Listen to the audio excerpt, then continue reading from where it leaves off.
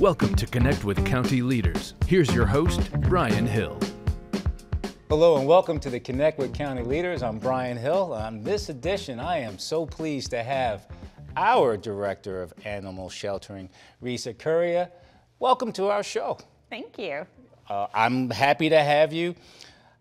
So, you know, I kind of have like one couple, maybe 15 questions I'm going to ask you. Okay. Have you always been an animal lover? Well, interestingly, yes. Um, my grandfather was a veterinarian, and so my earliest memory um, was being in his veterinary clinic and spending time with animals uh, that were recovering from surgery. Mm. And it just kind of snowballed from there. Um, of course, I grew up with all of the animals that were dropped off at his clinic that uh, he didn't have the heart to euthanize. So I had a little chihuahua that would bite and a uh, three three-legged, one-eyed cat. Everybody was just special in their own way. Um, but it definitely imprinted on me just um, how important animals are and also our duty of compassion and care to the animals that uh, we come in contact with. Well, that's, you know, that's, I didn't know that your grandfather was a vet, so that's yeah. interesting. So, you know, at this juncture, I'm going to ask what's the fav most favorite thing about your job? And then I'm going to ask what's the hardest thing about oh. your job? And you better not say working with me. Yeah. Okay? I'm just saying that right now. well, um, Fairfax County Animal Shelter is the county's only open access shelter. That means that we take everybody. So creatures great and small. Right now we have a hedgehog in our care. We've had an emu. We've had um, farm animals, farm animals, um, we have reptiles, and we have all sorts of animals. So we take everybody, regardless of um, their species or their behavior or their background. And that's something that we're really proud of and an important service we provide for the county. Um, so generally we take in between four and 5,000 animals a year. And so you can imagine with all of those different animals, there's a broad spectrum from heartache to joy that we see every day. Um, I think, though, my favorite thing about my job, uh, and, and for most of our staff, is just seeing adoptions. And it's really hard to have a bad day if you go into our adoption floor, and especially seeing children for the first time adopt a pet is amazing. And the joy and the excitement that they have to take a pet home, and um, they're so excited to learn and be involved in the care of that pet. So uh, that is wonderful.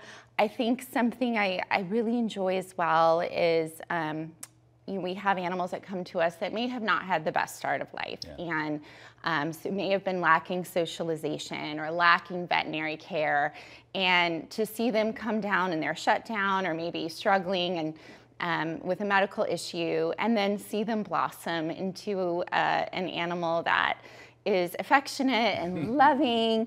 Uh, we just had a recent hoarding situation, and so we got a bunch of cats from that situation, and they were they were very fractious, um, a lot of hissing, and they did not want to be around people.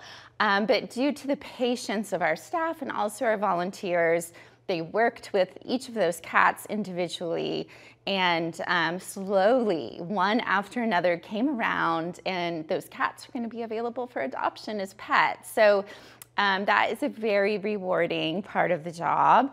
Um, I think for one of the hardest parts of the job um, is is seeing animals that that are um, that are struggling, and also I think it's a challenge when we have families come in and they're having to make hard choices and which is seems to be happening a lot more lately where families are struggling um, with some of the economic impacts of pet ownership from veterinary care um, to affording pet food and supply. All those costs are going up um, finding housing that is accessible for their pet.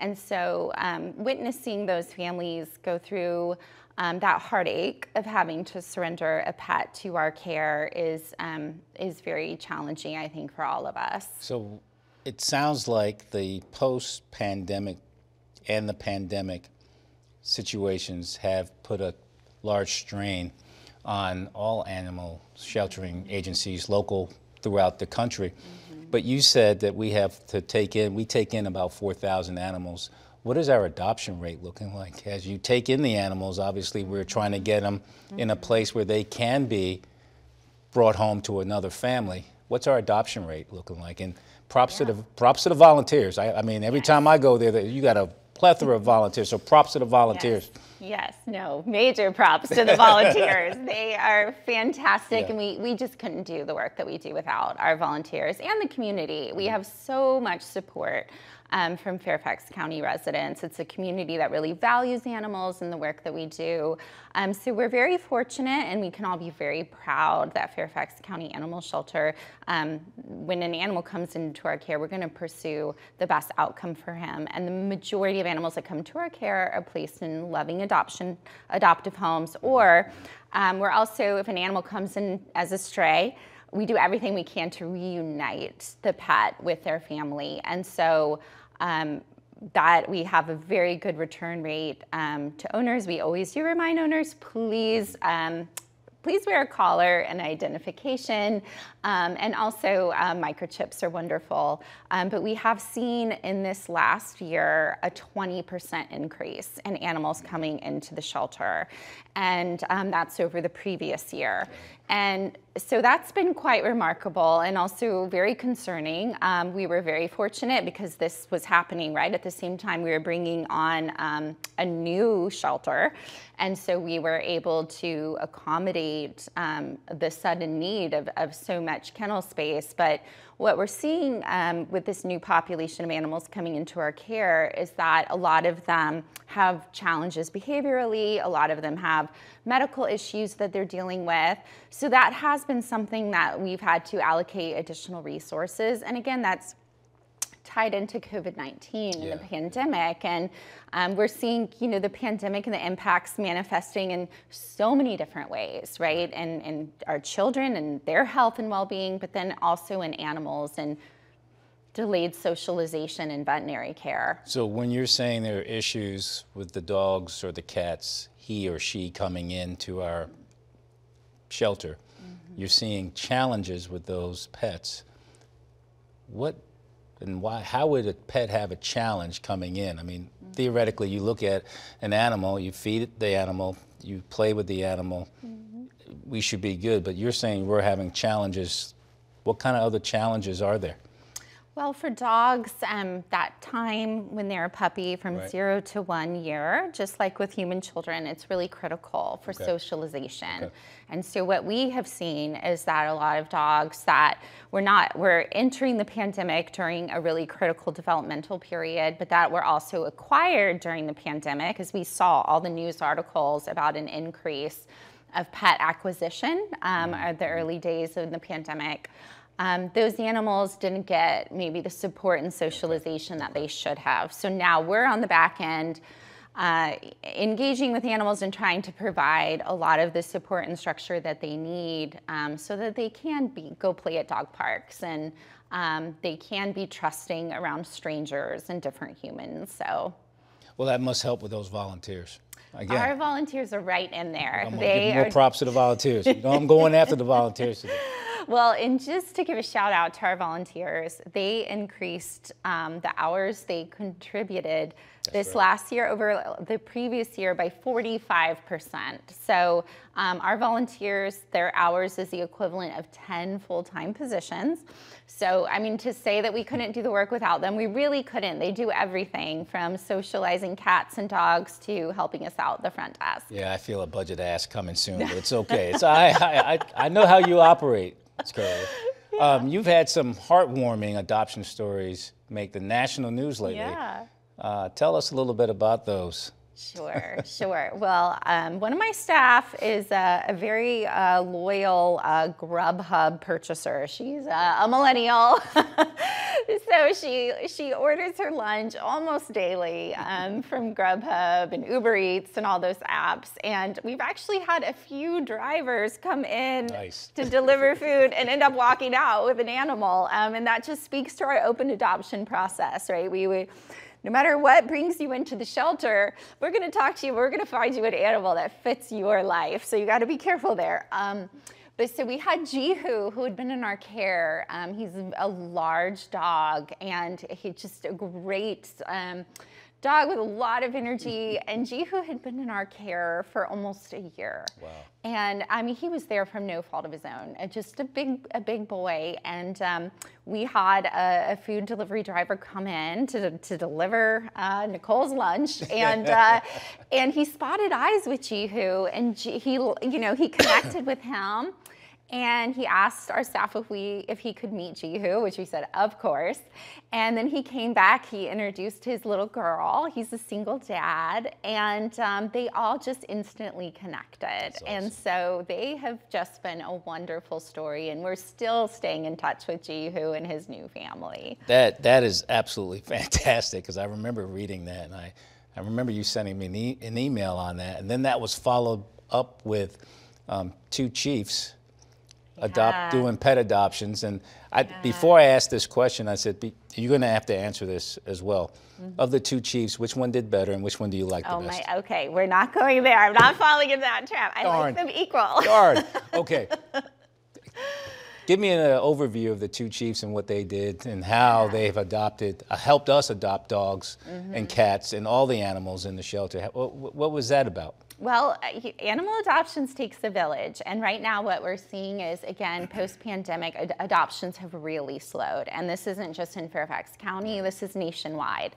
Um, so we are trying to be really creative about bringing people into the shelter and uh, just reminding people that we are here as a, as a source of adoption. And um, so we got together and thought, how can we uh, capitalize on some of this Super Bowl fun? And I know both of the Chiefs are big sports fans.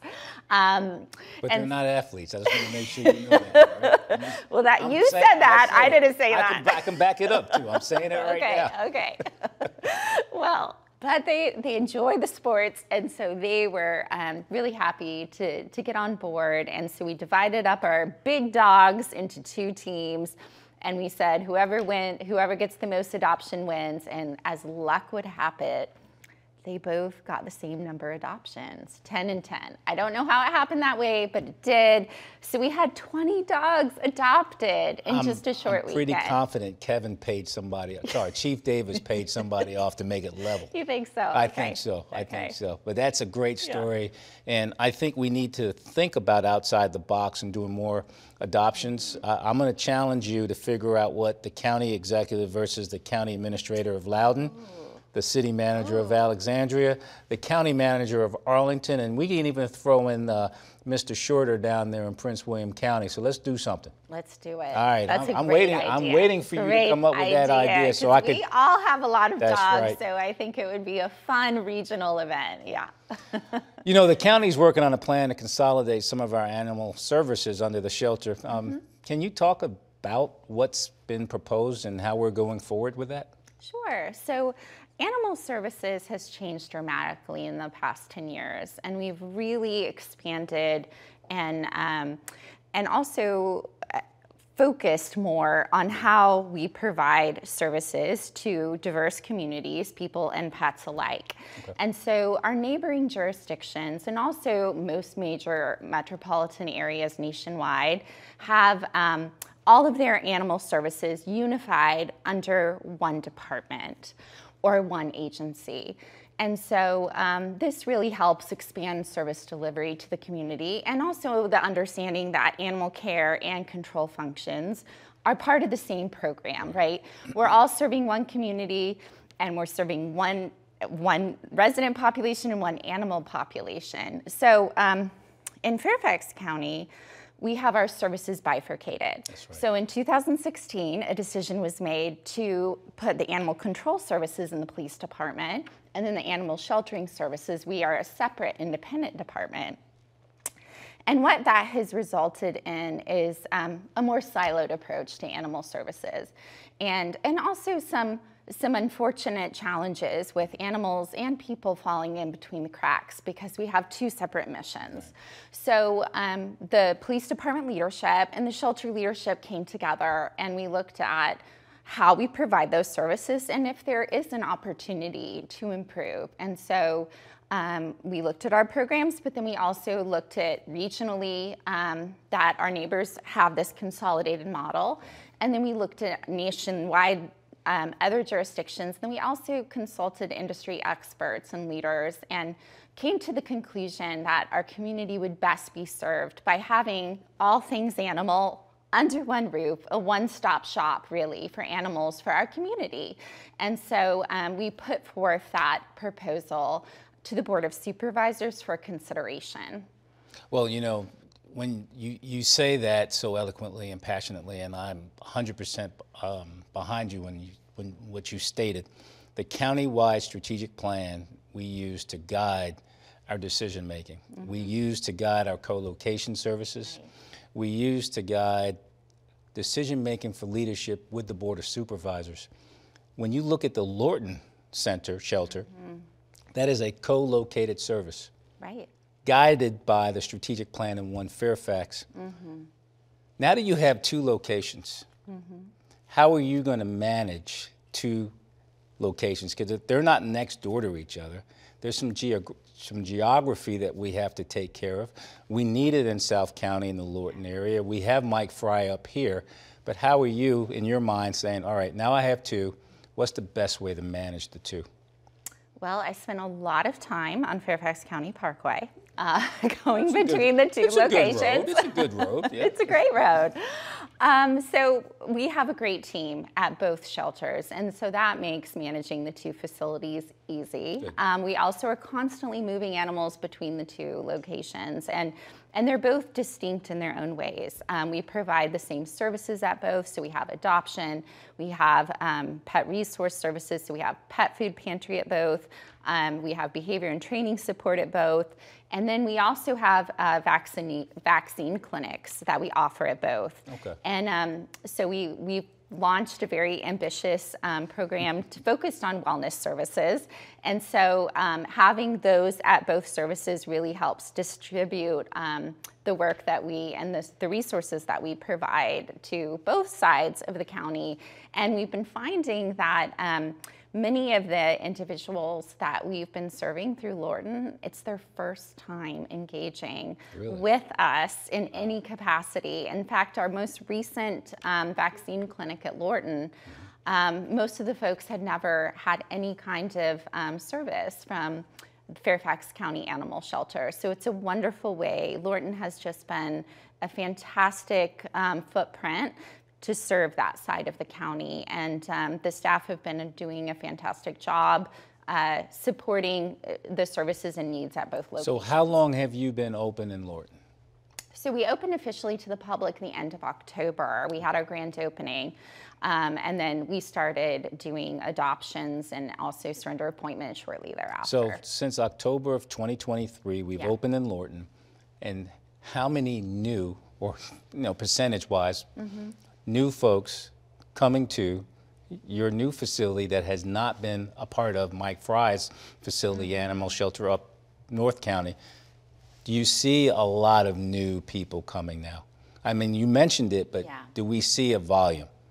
Well, we ha- we have. I mean, the first day, just the first our opening ceremony, we had a thousand people come through our front doors. So if that is any indicator of just the excitement of the community yeah, to have yeah. this Lorton campus open. And we've actually had so many residents come in and offer to volunteer that we're in a backlog. We're, we're, I think we're three to four months that we're asking folks to wait while we onboard and train. I mean, we've just had that level of excitement from the community. And um, we have so many scouts coming in and wanting to do scout projects and to support the animals. And um, we just recently launched our Reading Tales program at Lorton. So that's where children get to come in and read a bedtime story to one of our shelter pets. That's awesome. Um, but we're also um, continually expanding more programs at the Lorton shelter. So I mentioned we have our pet food pantry, mm. and we've been expanding the, the footprint of our pet, pet food pantry because we know not everybody can get to the Lorton campus. So we're also working with like Lorton um, Community Action Center and other organizations that are providing food to the community. And so we're having little pop-up shelters with some of these organizations so we can even spread our work even further into That's the awesome. community, so beyond the shelter walls. You know, I look at Lorton and I say strategic, I say tactical, I say co-located services, and I say the folks in the Lorton, Mount Vernon, Franconia area well deserved. Springfield, well deserved. So we've talked a lot about the operations. Give me a favorite animal. Oh my. Oh, come on. It's I like choosing a favorite child. Uh, Yeah, I can do that. I got three. I could do that. Okay. What's your favorite animal? Well, you know, as we were, as you know, I have I have uh, gold, not goldfish, but tropical fish in my house. Um, when when my kids were growing up, we had two dogs most of the time, Okay. And um, unfortunately, the dog Petey, who my oldest son BJ picked out when he was, I think he was eight. BJ's now 28. Petey just passed away, I think last year. I don't know how he lasted that long. Uh, and then there's a Chihuahua at that. Uh, my ex-wife has a Chihuahua down there. I mean, you know, I, I didn't really care for the Chihuahua. So, but I, I, I put it out there. What, what kind of dogs did you like, or what kind of animals? I say because I shouldn't say just dogs. I- You know, I, I just, the more I um, engage with different breeds, the more I find in different species that I, I'm intrigued by all of them, to be honest. I think reptiles are really neat. I think we have some rats that are super cool. Um, they're very social. They love to be brushed. They, we found one of our rats, one of our staff is fostering him, and he especially loves curry. I mean, you, animals are very, they're, they're very unique in their own ways. And um, rats. Yes, we have rats that we Okay. adopt out. And we we have a hedgehog in residence right now. Um, we have a bearded dragon. So I I think part of the many benefits of, of of the work that I do is that I get to know these animals on an individual basis. So when I was in Beaufort County, South Carolina, we had an emu, a peacock, and a donkey. I mean, I was just like, wow, are, Yeah. are you serious? And I remember the shelter director's last name was Linton. She always used to say, come, come check out what I got today. Yeah. Oh, and yeah. it's so amazing. No, no snakes, right? Well, we don't have a snake in residence right now, but we do get them pretty Okay. regularly. Yeah, and I mean that's fun because we we get to figure out part of the challenge is like, oh, this is the first time, and we have to figure out how to create a habitat and provide supportive care. Um, and we also have a wonderful veterinarian. Um, and Pender Veterinarian, we have a contract with them, and they have a, a fantastic exotics team. And so we always call them and like, you know, what is what does this animal need to eat? And so they're always on on standby when we get those unusual animals. So as we close our, our show today, mm-hmm. Reasa Currier, tell me what you want the residents of Fairfax County to know about about Fairfax County sheltering. Mm-hmm.